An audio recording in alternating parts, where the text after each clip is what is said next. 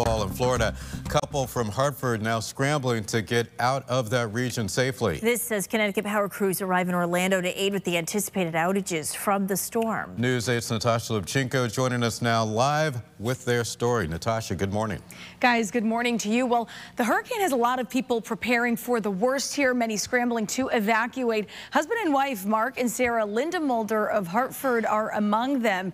They were in Orlando for a wedding, and the pair tells us they had actually just moved to the capital city from Orlando to escape hurricane season. They had a flight booked back to Connecticut later this week. That was canceled. Yesterday, they told us they plan to drive eight hours to Charlotte, North Carolina to hopefully catch a flight to Connecticut this morning. They didn't know if they'd encounter roadblocks, though, in North Carolina, with many areas there still recovering from Hurricane Helene. There were many gas stations just closed because they were out of gas.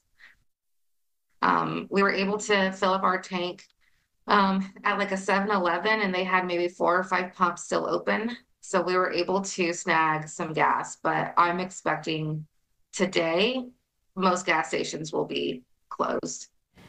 The couple hopes to be back safe in Hartford by this afternoon. And while they were fleeing the area, some Connecticut power crews headed towards it. Last night, Norwich Public Utilities sent two linemen and a supervisor to Orlando, which, as we know, is in the storm's path. They are set to be anticipating outages from Milton. They are part of the response from Northeast Public Power Association, which also includes crews from Massachusetts.